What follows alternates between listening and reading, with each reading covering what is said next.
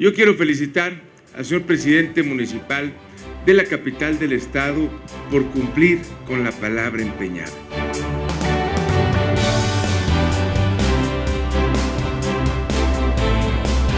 Con este logro se constata que en la vida los hechos son más poderosos que las palabras.